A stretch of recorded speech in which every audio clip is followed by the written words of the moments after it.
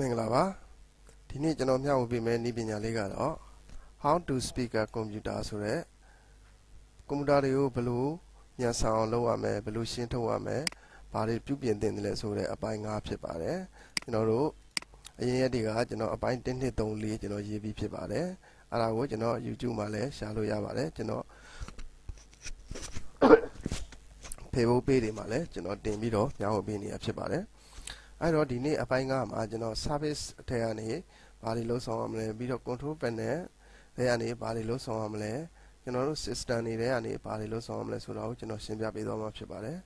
ပထမဆုံးကျွန်တော်တို့ service ကနေသွားမယ်အဲ service ကနေသွားဖို့အတွက်ကျွန်တော်တို့ run ပေါက်ကိုခေါ်လိုက်ပါ run ပေါက်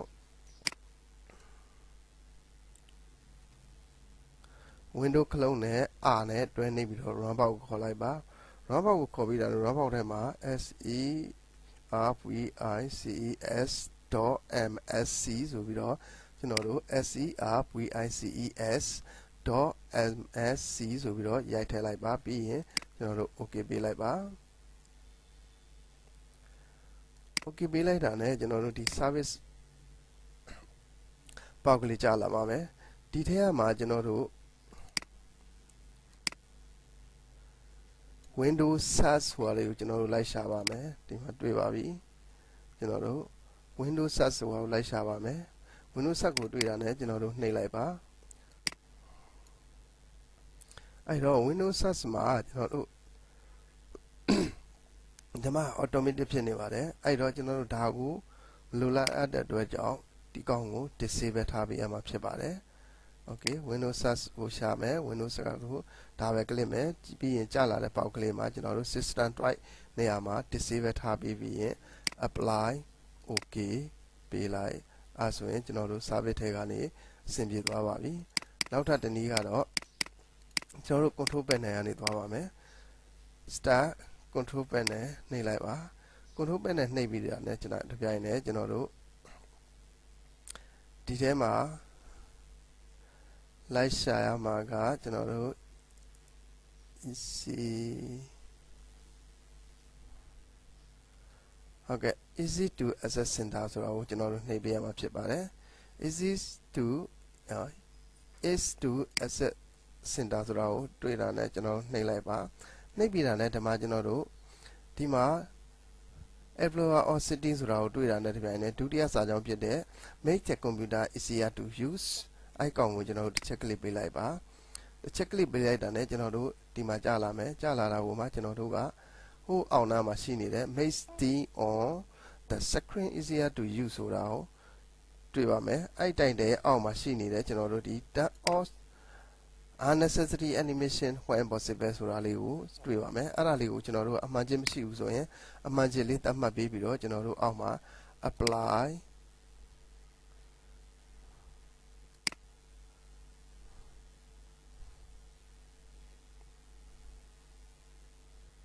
ပြီးရင် okay ပေးလိုက်ပါ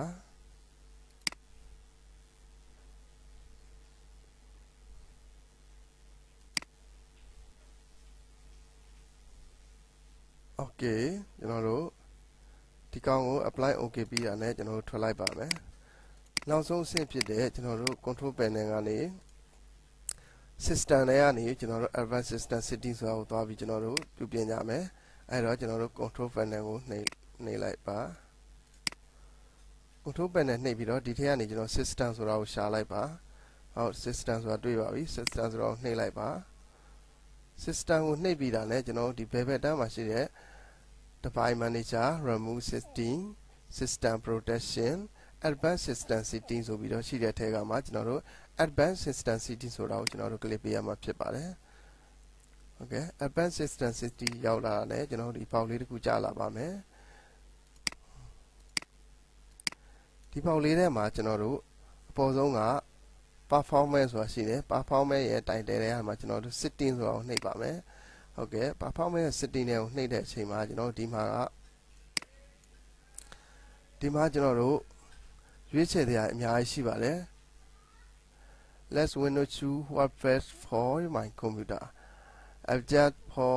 best appearance adjust for brand performance customer ဆိုပြီးတော့အစားအစာရှိပါတယ်အဲ့တော့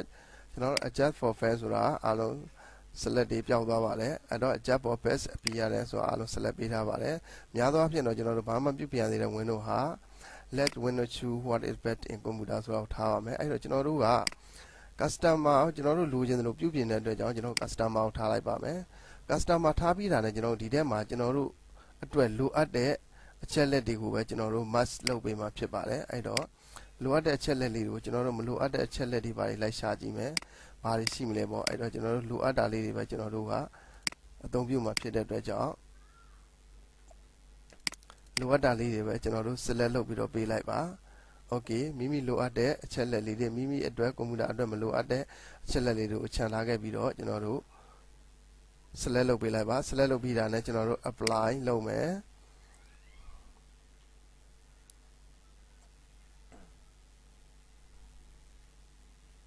apply ပြီးတာနဲ့ကျွန်တော်တို့ okay ကိုနှိပ်ပေးလိုက်ပါဟုတ်ကဲ့ဒါဆိုရင်ကျွန်တော်တို့ကိုယ့်ရဲ့ကွန်ပျူတာဘယ်လိုတွေမြန်ဆန်သွားလဲအောင်လုပ်ရမယ်